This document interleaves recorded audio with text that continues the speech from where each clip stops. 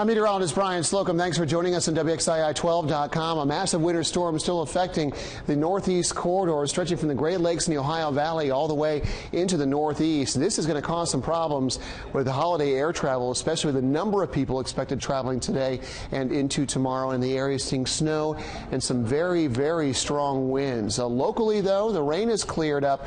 We still have the chance for blowing snow in our mountain spots today. Even a few flurries, streamers have gotten even into the northern Piedmont from time to time, so a chance that you could see a few flakes even as far east as the foothills, even parts of Forsyth, Stokes County. I can't completely rule out a few flakes today. Nothing to accumulate, though.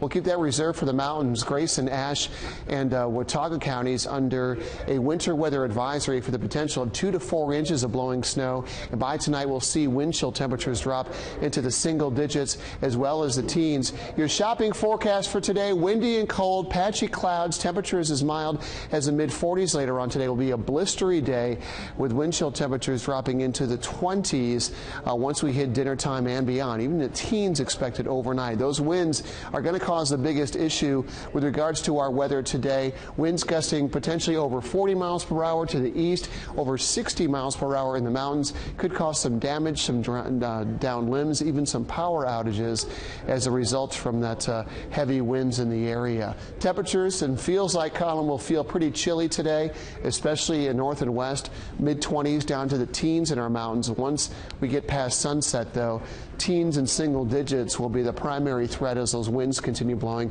pretty hard through the evening and into the overnight hours. So, as far as the rest of the weekend goes, still pretty brisk on your Saturday, cool but not as windy come Sunday. We'll see temperatures even through the holiday holding uh, below 50 degrees with a chance for rain on Christmas Eve and on Christmas Day.